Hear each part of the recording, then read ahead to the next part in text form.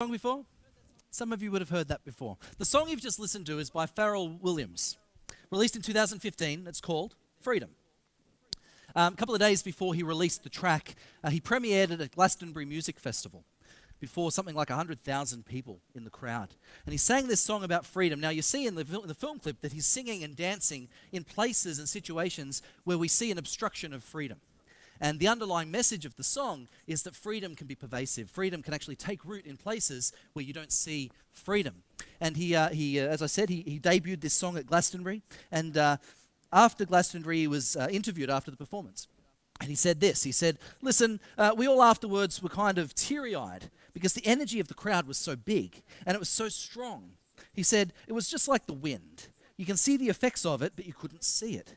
You just felt it because it blew through you and it blew past you. And I heard this, I actually read this this week, and it struck me. It struck me as interesting that Pharrell Williams would choose to use an analogy of the wind to describe how freedom, how the thought, the human desire for freedom would just flow through a crowd and ignite a group of people. And we see that all the time, don't we? It's an interesting analogy to use. And in fact, the analogy that he used about the wind is actually a biblical analogy. For Jesus himself says in John 3:8, he says, The wind blows wherever it pleases. You hear its sound, but you cannot tell where it comes from or where it is going. So it is with everyone born of the Spirit. And these two, two contradictory or two competing pieces of information just fitted together in my mind, and I thought to myself, how appropriate how appropriate to use the analogy of wind to describe the way that freedom takes root in a group of people when Jesus uses that same analogy to speak about how the Spirit of God ignites in our hearts. Isn't that appropriate? Isn't that appropriate that the Holy Spirit and freedom can be brought together so beautifully? Now, last week we began a study on freedom. It's called Born to Be Wild, and we're looking at the book of Galatians. Now, last week, uh, if you remember, we learned a couple of things. We learned that uh, we all have an innate desire to be free to return to this state of being free of our bondage, free of our obligations, free of rules, free of predetermined structures. We all want to break free of something, but we also found last week that we don't really know how to be free. Because on our own, we quite often will lay down our freedoms. And last week I said we lay down our freedoms usually for more palatable versions of bondage. And I gave a couple of examples of that. First example I gave was of, uh, of a relationship. That when two people enter a relationship, they lay down their freedoms for each other, don't they? Individually, you have freedom, but you lay down your freedom to enter into a relationship with another person. Another example that I used last week was that of work, and that we might work uh, for an employer for 30, 40, 50 years and we give up our freedom to work on our own for the promise or the hope of a future freedom, which is future financial independence, or financial independence and freedom for our children, or for other generations to come after that. You see, on our own, we have a tendency to lay down our freedoms. That's just what we do. We trade them in and we substitute them. And then we found, as we looked in Galatians chapter 1, we found this that, that Jesus that Jesus is freedom. Jesus is freedom. We'll come to that one in a second. There you go. Jesus equals freedom. Now, I, I, imagine that last week, when we started talking about Jesus equaling freedom, and in fact, we went further than that, we said Jesus plus nothing equals freedom. Jesus plus nothing equals freedom. And I imagine that for some of us in the room, we struggled a little bit with that concept. And I understand why. You see, in society, in our culture, it's not very politically correct to say that Jesus is the only way to freedom, is it? It's not very politically correct at all. And in fact, uh, if we listen to our culture, it'll tell us that the highest ideal that we can have in regards to religion is freedom of religion. What that really means is that you can have your Jesus, and you can have your spirituality, and you can have your other religion, and that's okay. And in fact, all religions and all spiritual paths lead to the same goal. But what we found last week is that that's in odds with the words of Jesus, who said, I am the way, I am the truth, I am the life. And then he goes a step further and says, No one comes to the Father, God, except through me. He can't be any more black and white than that. But you see, culture struggles with this. Culture struggles with this. And they say, You can have your Jesus. Unfortunately, in the church, we kind of buy into this a little bit, I think. And when culture says to us, you can have your Jesus, we respond by saying, Yes, I'll have my Jesus and I'll keep him to myself. Because you see, I don't want to step out into culture and say to you that you need my Jesus and that you need my Jesus because you've got your own beliefs and you've got your own religion. As long as I've got my Jesus, as long as I've got my own path, then we're all okay. And so what we do is we, we find this cultural um, pressure gets placed alongside our faith. And what we do is we take this cultural pressure, we take this religious freedom, we take this way of thinking, this worldview, we place it alongside Jesus, and we end up back where we were last week that Jesus plus something equals freedom. Are you with me so far? Jesus plus other worldviews. Freedom, Jesus plus an inability to offend somebody else's religious sensibility equals freedom. Now, when we look in the book of Galatians, we find that this is nothing new. Nothing new. We're going to have a look at uh, Galatians chapter 3, but before we do, I'm going to talk to you for a second about Galatians chapter 2, which we haven't read this morning. Galatians chapter 2 and Acts, cha- uh, Acts chapter 15 are very similar. Galatians chapter 2, we find that there's a problem in the Galatian church, and Paul addresses that problem specifically. And we find a bit more about it in Acts chapter 15. You see, Paul is talking to three groups of people in the church of Galatia. First of all, he's talking to Jewish Christians. These were people that were Jews, and they came to follow Christ. So they're from Jewish ethnicity, they're from the Jewish religion, and they come and they become followers of the way.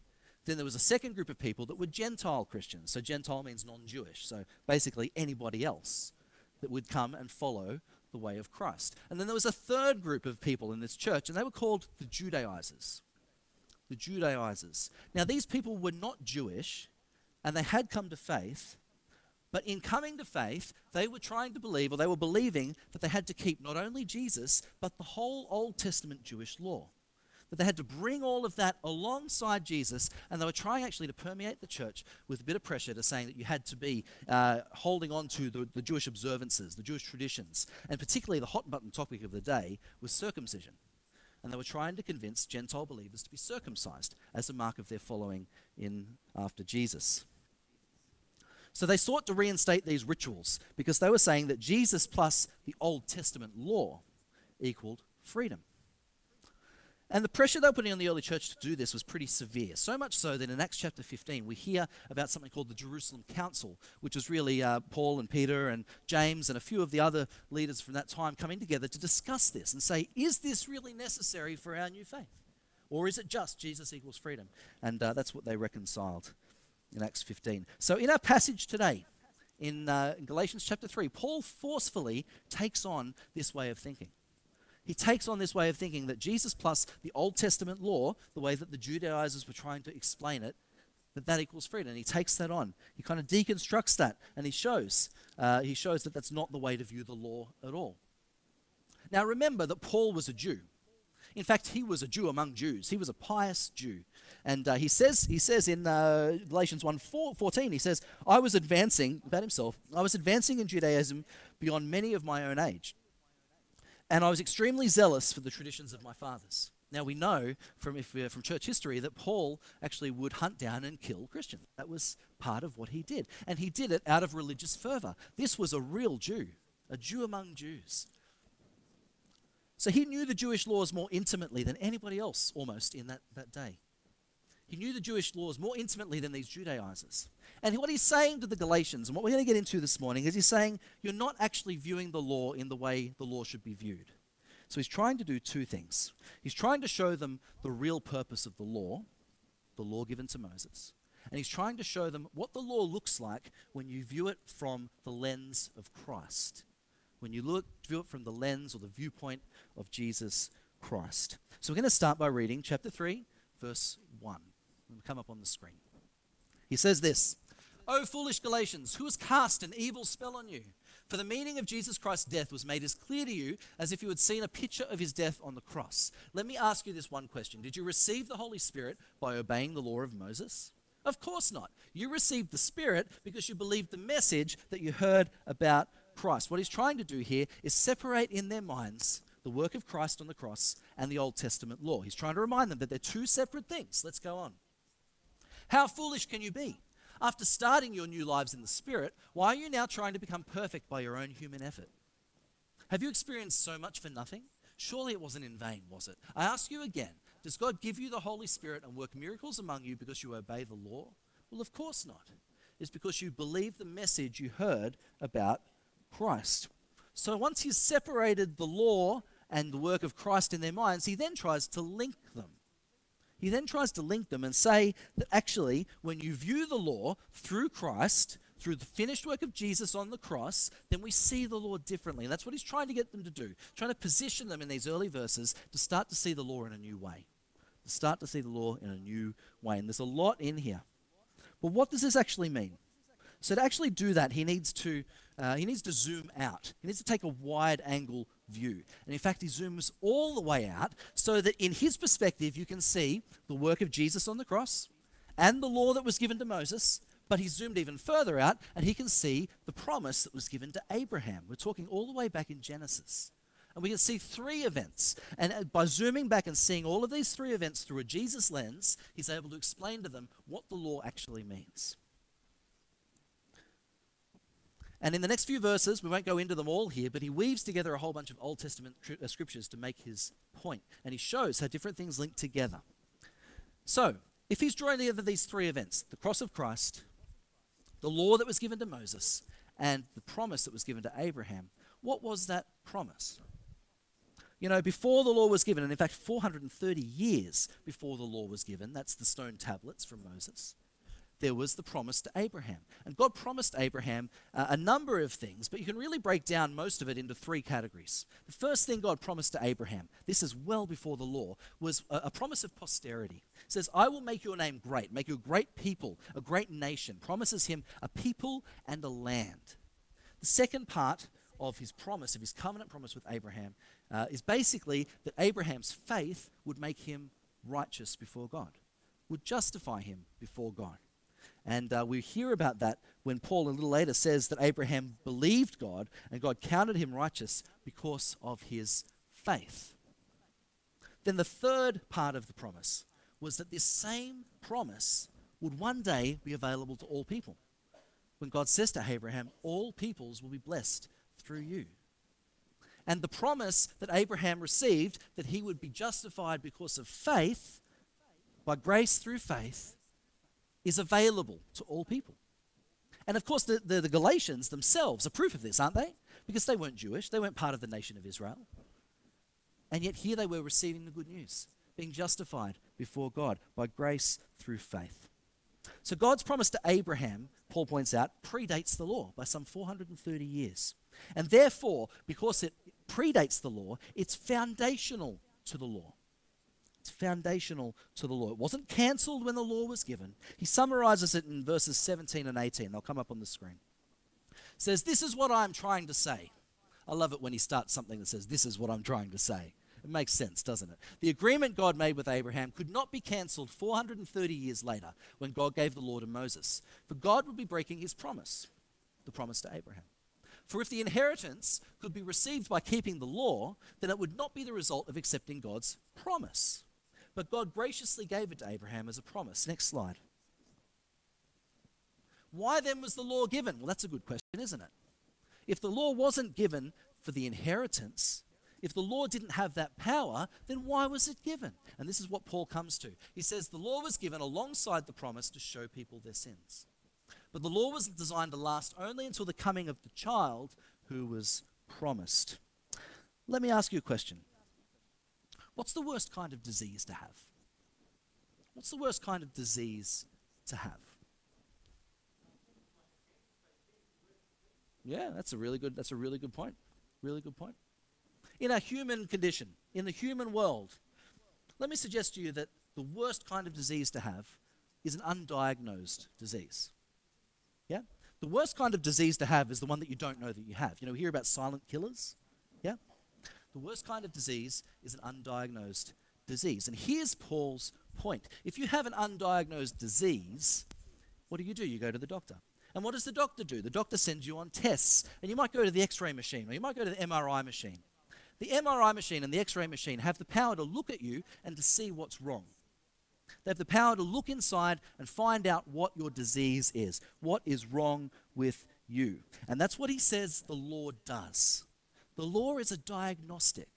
The law is a diagnostic. It's like the x ray machine, it tells us what is wrong with us. Think about it this way when the law was first given to the Israelites, Moses comes down from the mountain with the stone tablets and the Ten Commandments. You can picture the scene, right? He's, he's under the weight of these things. And he gathers the people together and he says, I'm paraphrasing, of course. This is in my version of the Bible. He says, Come together, guys. I've got some rules from God. And I'm sure they come skipping. I'm sure they're really happy about it. Go, yes, we've got some rules to obey. And then he starts to read them. First one You'll have no other gods before me. Okay, they're sort of shuffling in their place. They're looking at their shoes. They're nudging each other and saying, Yeah, don't tell Moses about that golden calf we just made. Yeah? Then he goes on and he says, you know, honor your father and mother. More of them look down at the ground. He says, you know, uh, do not kill, do not commit adultery, do not steal, do not bear false testimony. All of these things that he says, and I, can imagine the scene. One by one, they're all doing this. Hmm. You see, the law is a diagnostic, it tells us where we are sick. What is our reaction when we hear that list as well? you know, we're told in Romans that all have sinned and fallen short of the glory of God. All of us. The law has the power to tell me that I'm sick, but the law can't make that right with God. Just as the MRI machine and the X ray machine can tell you that you're sick, but they don't have the power to cure you. They don't have the power to heal you. They have the power to tell you how to be healed, but they don't have the power to heal you. And that's the same with the law.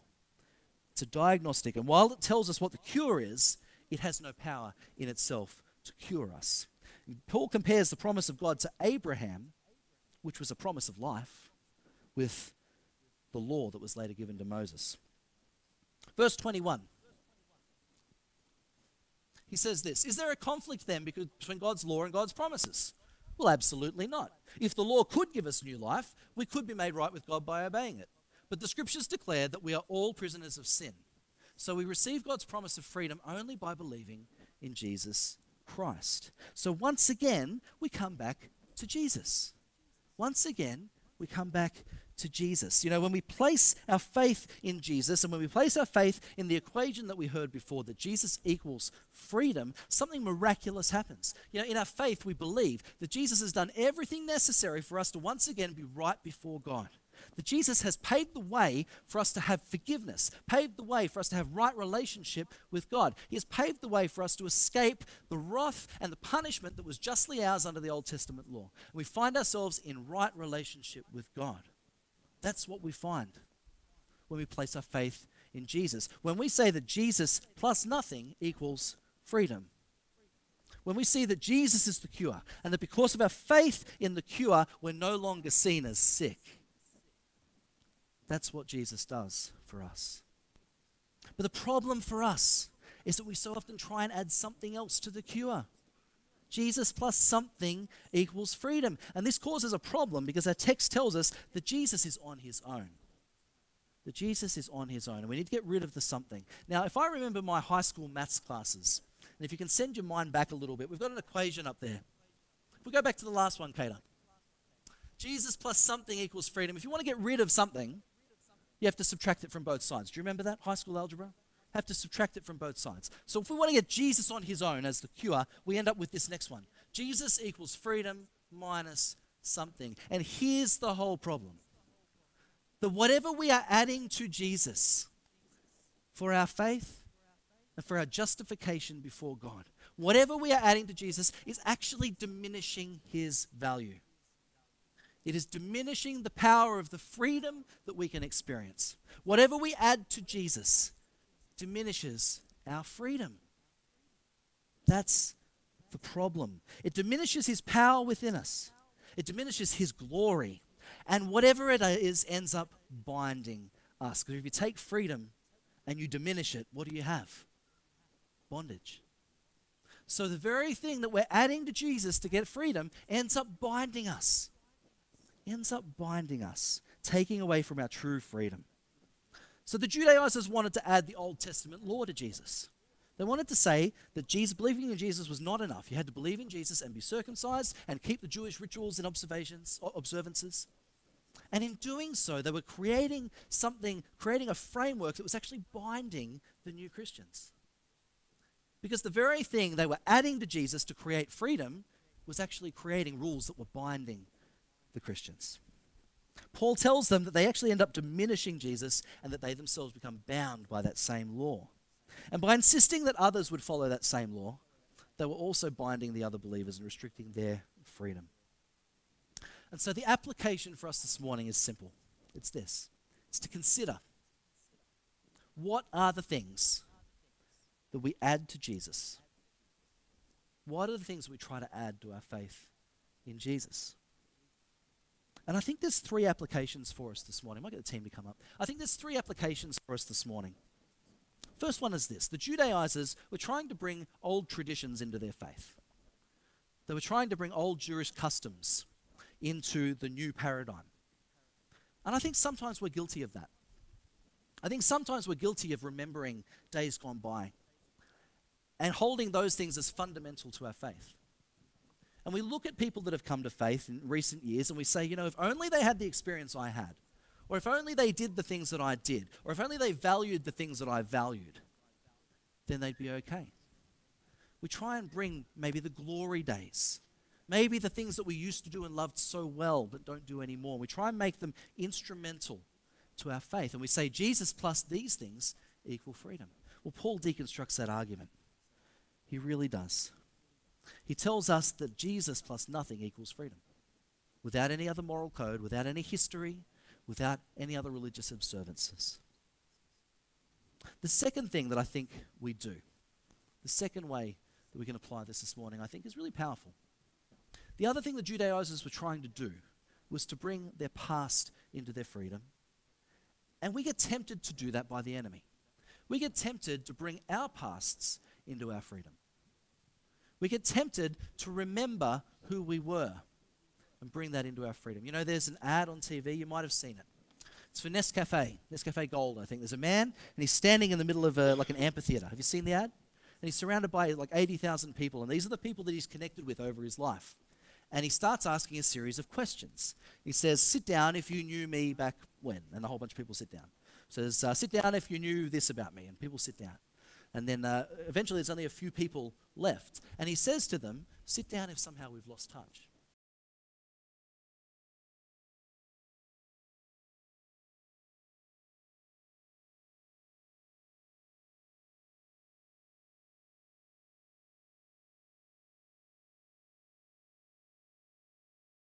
Think about the people that know you. Think about the people that knew you back then. Think about the people you hurt. Think about the things you did wrong. What would they say if they heard you now? What would they say if they saw you now? Would they believe a word that came out of your mouth? And how does that make you feel? Oh. See, Paul deconstructs this argument. Chapter 2, verse 20, he says, I have been crucified with Christ. It'll come up on the screen. It's no longer I that live, but Christ that lives in me. Yeah. So I live in this earthly body by trusting the Son of God, who loved me and gave himself for me. So when the enemy comes to us, as he does, and he says, Remember, remember what you did, remember who you were, remember how these people remember you. Paul says, Well, you know that guy?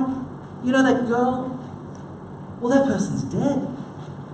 That person's gone. That person's been crucified with Christ. They don't live here anymore, and they didn't leave a forwarding address. That person is no longer here. So when Satan comes as the postman to bring you a parcel of guilt and shame, you say, that guy doesn't live here anymore. That woman doesn't live here anymore. And there's no condemnation for those that are in Christ Jesus.